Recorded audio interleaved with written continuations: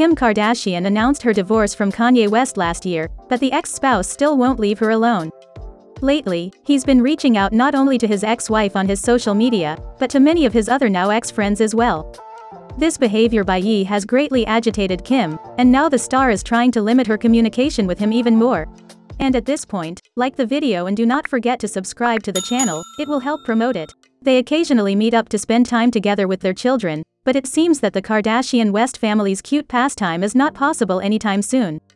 Because of West's recent inappropriate and abusive remarks, Kim has decided not to communicate with her ex-husband directly anymore.